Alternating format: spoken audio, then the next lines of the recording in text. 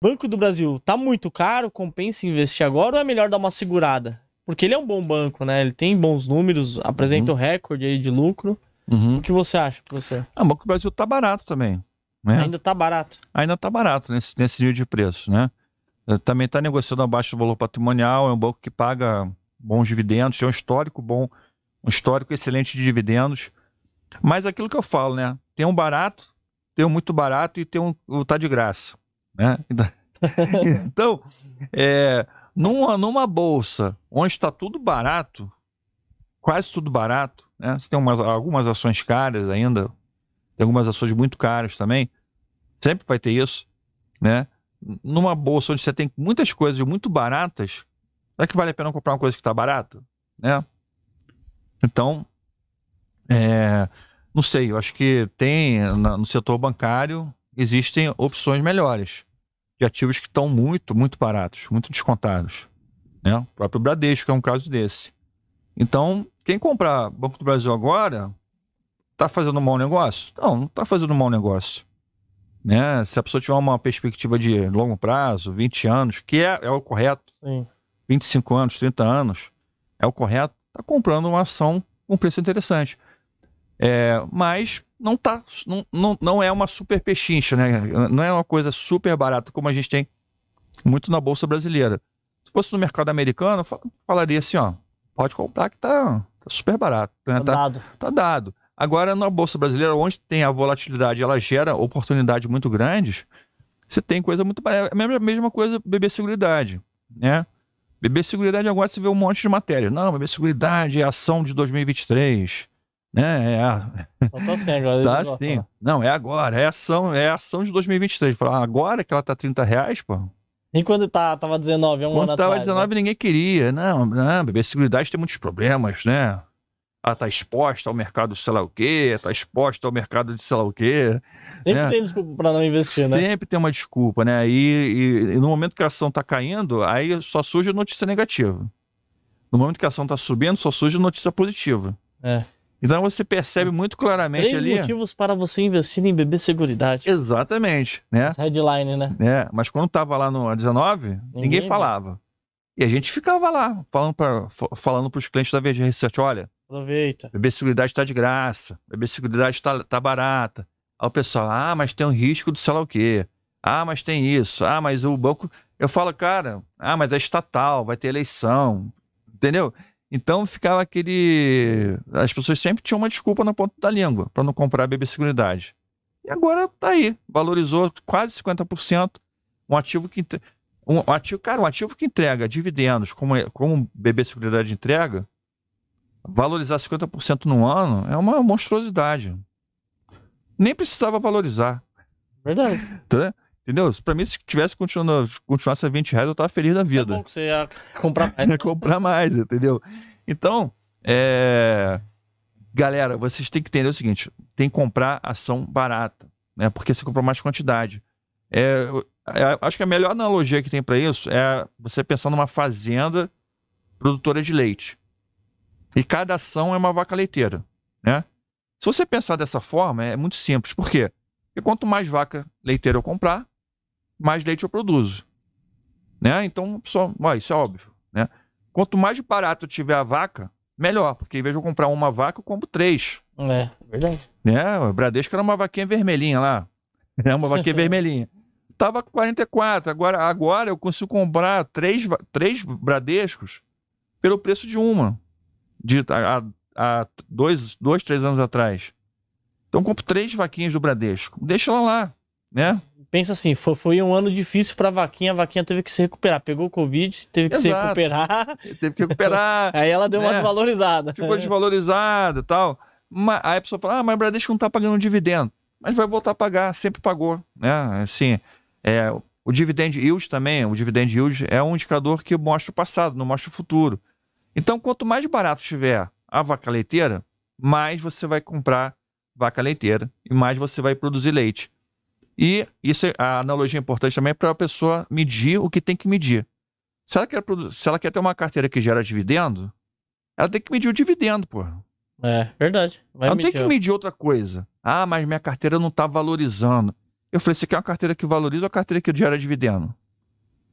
Você quer, o que, que adianta sua carteira valorizar 50% nesse ano e é, o, o, dividendo não crescer?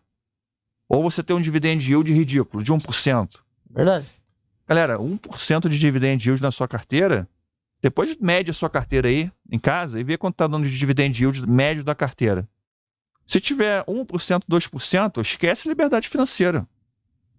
Isso nunca, nunca vai ter. Ou vai demorar 50, 60 anos. Porque o dividend yield, quanto que você recebe? Potencializa, né? Potencializa. Você, você recebe o dividendo, o que, que você faz com ele? Você joga no fogo? Não. Você pega o dinheiro e reinveste. Então o dividend yield ele te dá, ele te dá uma, uma medida de quanto você está reinvestindo na carteira. É? é um dado interessante. É, na minha carteira, minha carteira entre 2021 e 2022, ela não valorizou praticamente, né? Ficou de lado. Ficou de lado. Ficou de lado. Mas... Mas o meu dividendo cresceu 74% entre 2022 e 2021. Olha que loucura, né? Por quê? Efeito do juros compostos, reinvestimento dos dividendos. Todo o dividendo que eu recebi em 2021, 2022, eu reinvesti na carteira. Então você cada vez mais recebe mais dividendo, você compra mais ações. O meu aporte, ele praticamente ele ficou o mesmo, né? Nesse período, não, não aumentei meu aporte de forma considerável. Mas só os, o reinvestimento? Só o reinvestimento do que eu recebi, que foi aumentando, eu consegui aumentar minha renda passiva. Então, em termos de, em termos de resultado efetivo de valorização, não, não teve. Mas, para mim, o, o resultado que importa realmente para mim é o crescimento do dividendo. Isso eu, isso eu meço de forma, é, assim, quase, vamos dizer, é prioritária, né? A minha grande prioridade vem disso. Então eu sei quanto que minha, minha carteira cresceu, é, dividendos entre 2019 e 2020, 20, 2020 2021. Todos esses anos eu tenho, tenho, a, eu tenho um controle. E eu posso dizer o seguinte: desde que eu comecei a medir né, isso, a minha carteira sempre cresceu entre 20, em média, de 20% a 30% por ano, os dividendos. Então, é. Bastante, né? É muito. Se você pensar nisso ao, no, no, em 10, 15 anos. Muita coisa, né? É e muita é, coisa. E é sobre juros, juros sobre juros. Né? Juros sobre juros. E esse crescimento vai dando, vai alimentando, retroalimentando a minha carteira. Então o efeito bola de neve vem daí. Então, o fato de eu ter crescido 74% da minha renda não foi porque eu aumentei muito o meu aporte, em termos, é, o aporte, meu, meu aporte principal. Foi porque eu aumentei meu aporte por conta do, do reinvestimento dos dividendos. E principalmente o, esse 74% veio do investimento que eu fiz em dois, no, em dois, entre 2020 e 2021. Porque a ação que você está comprando hoje, ela vai te gerar o dividendo, vamos supor, de, comprando ação agora. Ela vai me gerar o dividendo máximo dela no ano que vem, né? Porque de repente ela já pagou o dividendo, já pagou um trimestre, já pagou. Verdade. Já pagou um semestre de dividendo, pagou o dividendo no início do ano. Então, esse ano eu já não vou receber o dividendo dela integral. Agora, no ano que vem, ela vai me dar o dividendo integral. Vou pegar todo aquele ano de dividendos dela. Entendeu? Então eu falo, o resultado de dividendos que você compra ação num ano, tem que, tem, na verdade, você tem que pensar no ano seguinte, né? Naquela, naqueles dividendos que você vai receber. Aí o que acontece? O cara compra ação aqui, aí chega que ela valoriza e ele vende.